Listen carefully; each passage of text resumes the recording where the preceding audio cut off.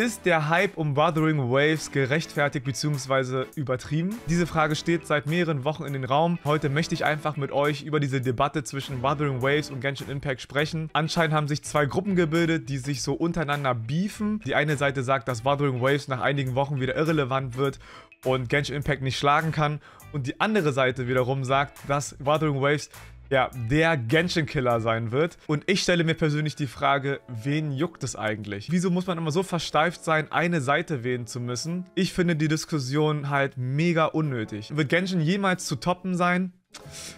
Unwahrscheinlich, aber nicht unmöglich. Und muss auch jedes neue Anime-Gacha-Rollenspiel automatisch ein Genshin-Klon sein? Nein. Man kann und muss das Rad ja nicht immer neu erfinden und das hat Genshin ja per se auch nicht gemacht.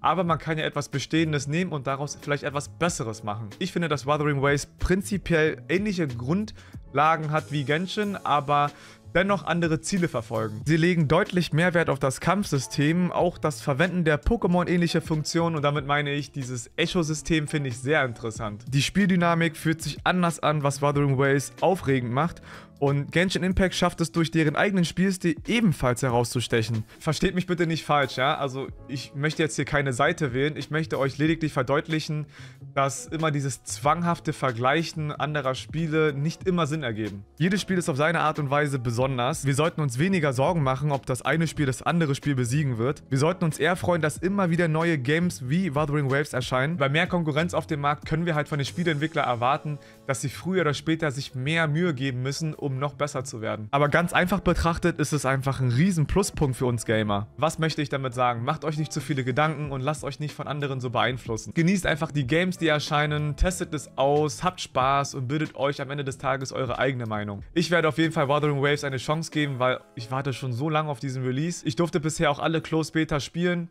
und ich muss sagen, es macht schon sehr Laune. Ich denke persönlich schon, dass dieser neue Titel ein Erfolg wird und ich wünsche es Poro Games halt wirklich vom Herzen, weil in meinen Augen hat jeder einfach eine Chance verdient, sich zu etablieren und sich zu beweisen. Die Chance sollten wir denen auf jeden Fall auch geben und lasst uns nicht zu sehr mit Vorurteilen reingehen und einfach, wie gesagt, mit einem ganz entspannten Mindset das Spiel genießen. Wenn ihr Bock auf mehr Wuthering Waves Content habt, dann abonniert gerne kostenlos meinen Kanal und folgt mir auch gerne auf Twitch. Da werde ich auch zum Launch Wuthering Waves live streamen und ich denke, da werden wir auch jede Menge Spaß haben. Und das war's auch schon, was ich hier alles in diesem Video sagen wollte. Bleibt gesund und bis zum nächsten Mal. Bye bye, euer Hai.